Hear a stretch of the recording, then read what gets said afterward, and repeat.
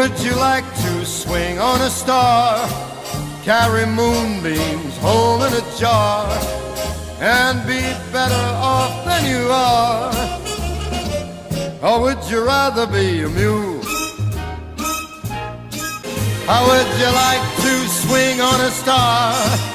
Carry moonbeams home in a jar and be better off